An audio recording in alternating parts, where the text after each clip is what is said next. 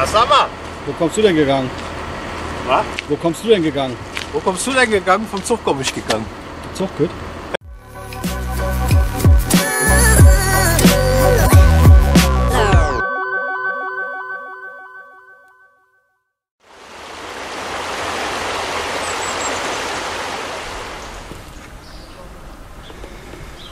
Irgendwann hänge ich meinen auch da auf.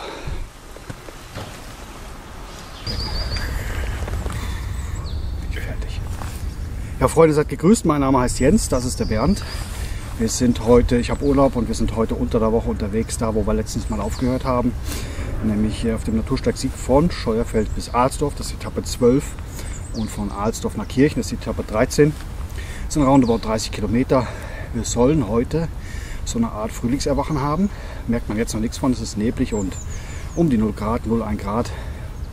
Und äh, wir haben uns jetzt schon ein paar Kilometer erspart, weil wir waren noch auf dem Zulauf vom Bahnhof auf den Natursteig Sieg und sind an zwei Dachdeckern vorbeigekommen, wo einer sehr bewandert hier aus der Region war und uns erklärt hat, dass wir jetzt gerade Negativkilometer machen, weil wir vom Bahnhof wieder zurück auf die Hauptstrecke gehen und von da aus wieder, ja, kann man sich so schlecht vorstellen, müsste ich eine Karte einblenden. Ne, wir werden auf jeden Fall wieder eine Masse zurückgelaufen, werden wieder eine Masse zurückgelaufen und dann wieder vorwärts zu laufen. Ja, Mal ganz davon abgesehen ist hier noch eine Umleitung ausgeschildert, die hatte er wohl auch noch im Kopf, weil vermutlich hier noch irgendwo Windbruch ist. Und das Chaos wie das letzte Mal, dass wir da über abgefallene, umgefallene Bäume laufen müssen, das wollte ich mir eigentlich diesmal ersparen. Ja, was ist neu? Neu ist, dass der Bernd leichtes Equipment dabei hat. Der hat von 18 Kilo von der letzten Tür auf 11 Kilo runtergespeckt. Ja. Bin mal gespannt, ob ich ihn heute Abend irgendwie versorgen muss oder ob er damit zurechtkommt. Aber wir werden es in diesem Video sehen. Genau. Ich hoffe auch, ich erspare euch heute viel Laberei. Das hatte ich in den letzten Videos. Irgendwie habe ich da diesmal keinen Bock zu. Ich möchte mehr die Natur sprechen lassen, weil davon werden wir heute einiges zu sehen bekommen. Also, ihr wisst, diese Richtung.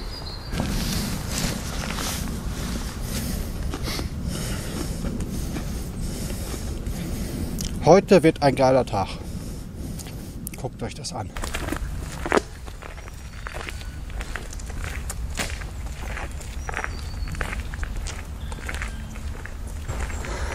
So, jetzt mal drauf. Guckt euch das an hier.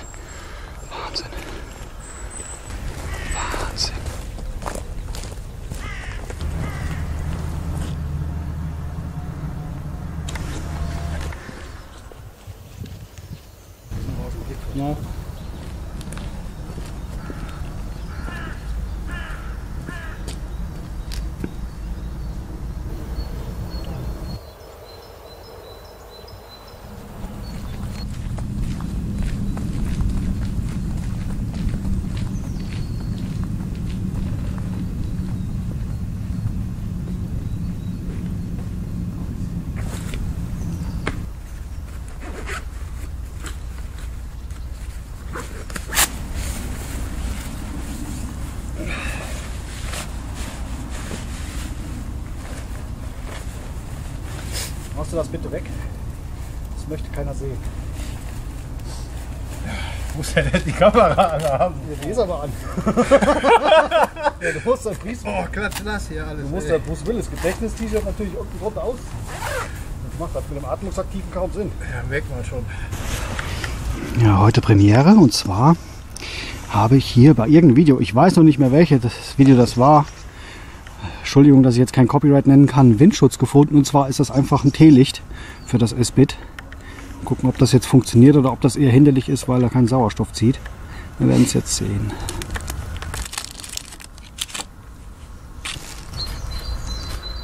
Wieder auf dem Marsch. Alsdorf, da wollen wir hin, 7,5. Morgen sehen wir den Druidenstein, 12,8 und den Ottoturm, 16 Kilometer und danach ist schon Ende der Reise. Nee, was schön. Klapphaus? Da lädt was. Ah, Kaffeechen. Aber das ist jetzt zu nass, Leute. Das dürfte beim Nassen nicht Dickendorfer Kaffeemühle. Ja, jetzt guckt euch das mal an hier.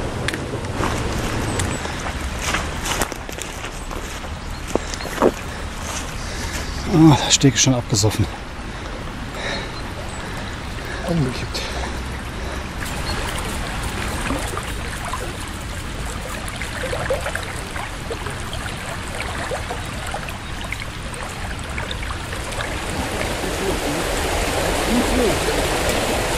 Treppe steigen. Das mag ich ja mit Gepäck überhaupt nicht.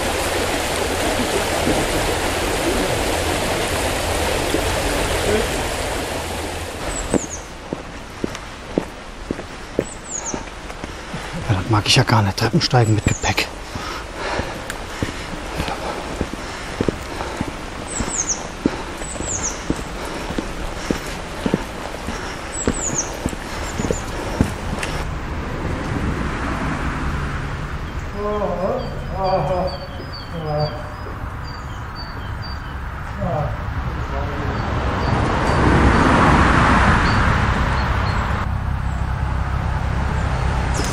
Bernd ist auch weg. Ist kein Heimscheißer mehr. Erst Mal auf der Trekkingtour AA gemacht. How to shit in the woods. Genau. Aber kaum stehst du eine Minute, fröstelt's einen wieder. Also, da hinten geht's weiter. So, fertig? Ja.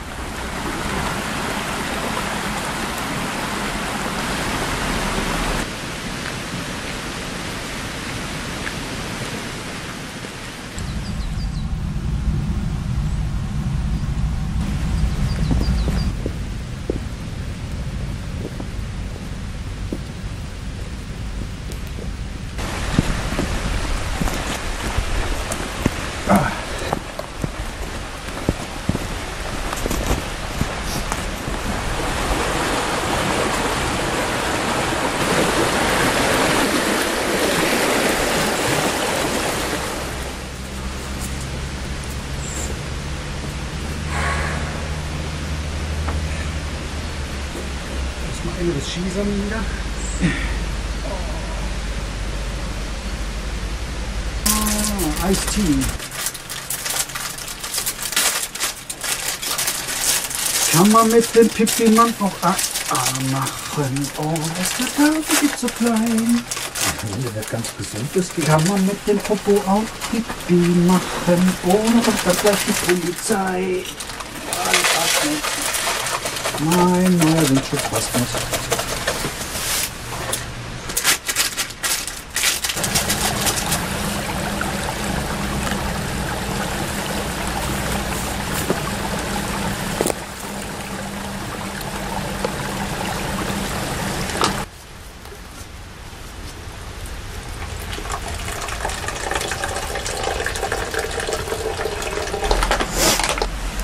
Wir haben unsere Bibis jetzt schon mal aufgebaut. Es wird jetzt dunkel, sodass sich die Schlafsäcke dann auch in ihrer Wärmewirkung nachher entfalten können.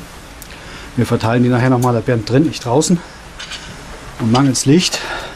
Und damit wir die Hütte nachher wiederfinden, wenn wir Pipi machen, habe ich hier noch so eine Puffbeleuchtung aufgehangen, so einen Leuchtstab. Kann ich also auf Reisen auch immer mal nur empfehlen, um sich auch Ausrüstungsteile zu markieren. Und äh, ja, zeige ich euch das mal von außen. Es plätschert schön. Da hinten ist noch eine Straße. Da hinten ist jetzt die Dämmerung. Ja. Hier unsere rote Stricherhütte. Also hier gibt es heute Abend Sexualität für 1 Euro. Ja, habe ich extra sauber gemacht. Ja, der Bernd hat hier schön sauber gemacht. Stößchen für 1 Euro, wollte ich gerade sagen. Nee, kostet jetzt 5. 5. Ja, jetzt ist er auch sauber. Mathe-Checks sind ja ordentliche Leute. Ja. Ne? Also, Ja, wir sind schon hier erstaunt angeschaut worden von dem einen oder anderen Jogger und Wanderer, der hier vorbeikommt, die uns hier auch alles Gute gewünscht haben, die ganz erstaunt waren und erschüttert waren, dass wir heute Abend hier jo. dann doch pennen wollen in dieser wunderbaren, zauberhaften Hexenhütte hier. hat was Kulturelles, Spinnenweben.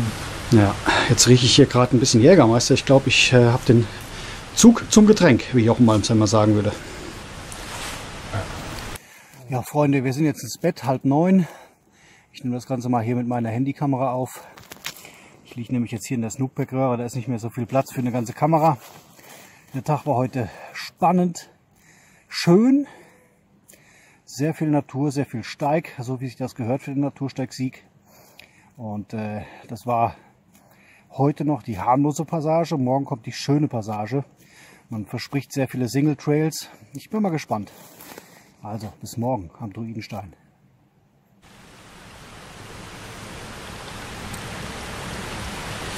Ja, guten Morgen, Freunde der gepflichten Blasmusik. Das ist jetzt wirklich so, dass ich gerade erst vor einer Minute aufgestanden bin. Wir haben Viertel vor sechs. Ich habe mich wund gelegen. Ich habe Klamm im Snookpack.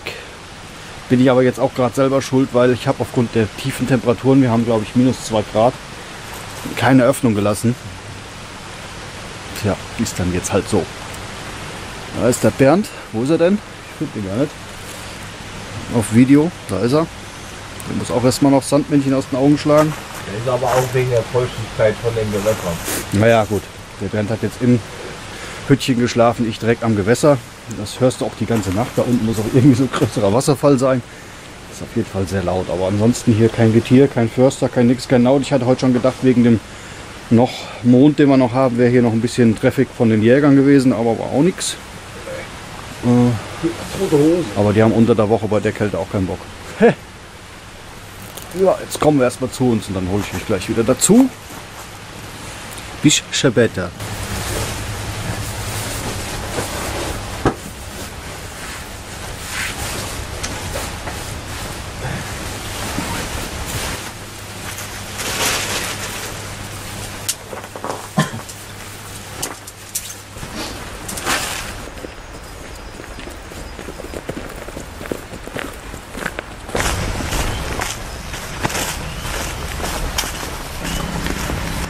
Ja, Natur bzw. die Luftfahrt deutet uns schon an, dass wir hier gleich zum Druidenstein kommen. Druidenstein. Hier so zwei V-förmige Kondensstreifen.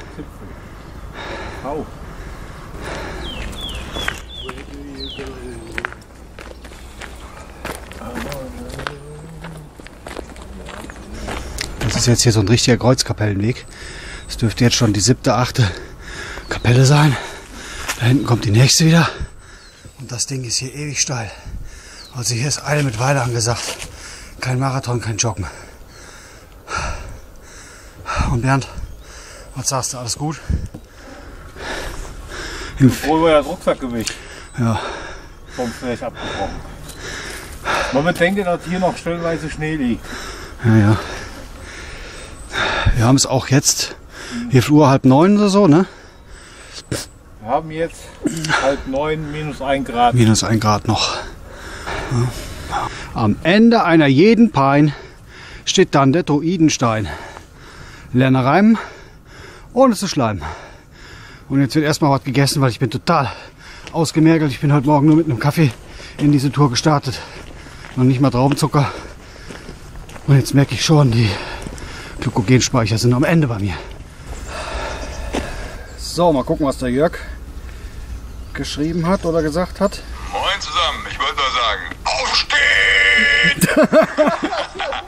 So, hoffe ihr habt die Nacht gut äh, überlebt. Haben wir. Mensch, habt ihr ein Glück mit dem Wetter hier, voll der Sonnenschein. Ja, voll der Burner. Euch viel Spaß noch auf der Restwanderung, gell? Macht's Jo. gut.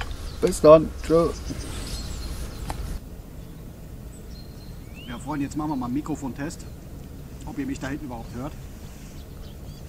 Der Druidenstein ist mehr wie 25 Millionen Jahre alt, ist quasi so eine Art ähm, Vulkaneruption, aus dem dann Basaltstein wurde. Und ist von dem, was ich euch jetzt gerade gezeigt und gefilmt habe, nur noch ein Drittel von übrig. Er ist nämlich ähm, erst druidisch genutzt worden, dann germanisch und dann im Dreißigjährigen Krieg um ja, zwei Drittel gekürzt worden, weil er halt so auffällig war. Ähm, und ähm, seitdem ist halt nur noch so ein Drittel da, aber als Kultstätte nach wie vor noch genutzt hier. Jetzt mittlerweile christliche Kultstätte. Ihr habt ja die ganzen Kreuzkapellen gesehen auf dem Weg hier hoch. Das ist jetzt hier der Endpunkt davon. Es ist schön, dass man sowas auch in der Nähe mal hat. Steigen ist natürlich verboten, obwohl man da oben so ein Führungsseil sieht. Aber der eine oder andere wird sich daran nicht halten. Aber ich muss mir das heute Morgen nicht geben. Äh, nachher sind meine Bänder noch durch und das, ich, das brauche ich nicht heute. Guten Appetit. Jetzt gibt es erstmal selbstgedörrtes Spaghetti mit Tomatensauce.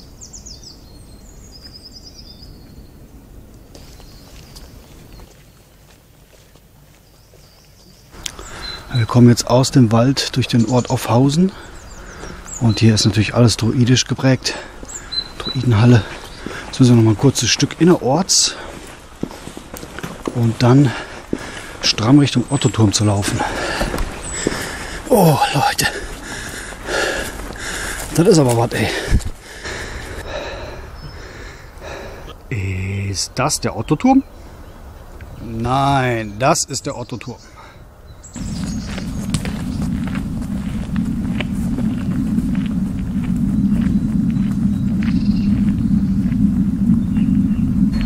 So kann man es dann auch machen. Hier ist jede Stufe von einem Mäzen, Förderer gesponsert worden.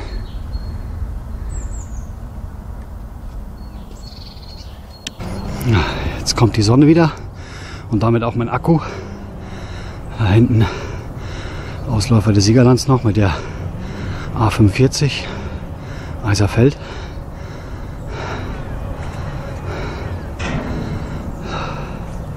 Traumhafte Sicht heute.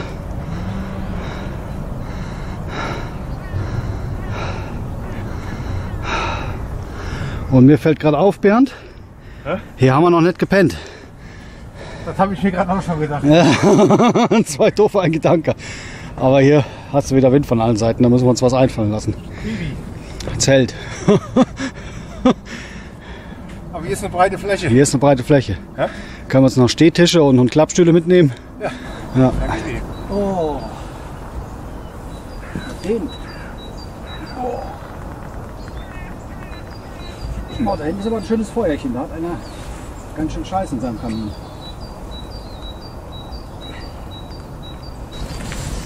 Ja, Freunde, das wird jetzt das Ende der Tour sein. Wir sind hier am Otto-Turm angekommen, in der Nähe von Kirchen. Wir haben es noch so zweieinhalb Kilometer bis runter zum Bahnhof. Die Tour war jetzt ungefähr 30 Kilometer, zwei Etappen, Etappe 12 und 13, ein paar Umwegen und Zu- und Abwegen waren wir auf 30 Kilometern. Sehr viele Höhenmeter haben wir gemacht. War sehr schön, muss ich sagen. Ich habe viele Etappen von Natursteig-Sieg gehabt, die waren so lala. Diese beiden waren wieder sehr schön. Auch wenn wir einen suboptimalen Schlafplatz hatten, aber auch das haben wir überlebt. Und ich muss auch ganz ehrlich gestehen, jetzt freue ich mich aber auch mal wieder auf Übernachtung bei etwas besserem Wetter. Das war jetzt die vierte Übernachtung in anderthalb Monaten draußen, also nur bei Frost oder bei Schlechtwetter. Jetzt reicht es auch langsam. Aber krank geworden bin ich dadurch nicht. Wahrscheinlich hat sich mein Immunsystem dadurch eher noch verbessert. Ja, ich war froh, dass ihr wieder mit dabei seid. Ich bin auch froh, dass der Bernd wieder mit dabei ist. Und der Bernd hat hier wirklich Gas gegeben mit seinem neuen Equipment, wesentlich leichter. Da kam ich dann kaum schon hinterher. Und äh, ja, was bleibt mir noch zum Schluss zu sagen? Machen ist wie wollen, nur wesentlich krasser. In dem Sinn, bis zum nächsten Video. Macht's gut. Tschüss. Gut, jetzt haben wir für die Zuschauer alles gefilmt. Jetzt können wir uns Taxi holen, dann fahren wir nach Hause und fahren dann morgen wieder früh hier hin zu der Gegend. Genau. Habe ich mir auch gerade gedacht. Jetzt, kommt, jetzt kommt Wanderers Horst. Da können wir gleich erstmal Gespräche führen wieder. Was macht ihr dann hier, ihr Jungen? Motto des Tages. Wir müssen uns jetzt gleich eine Legende einfallen lassen. 30 Kilometer haben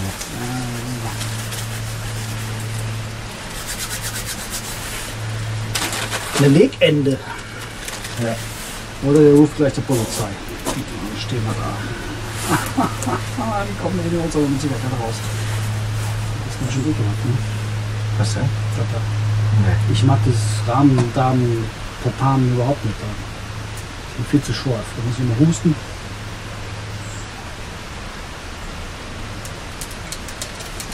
Naja, so ist das im Leben.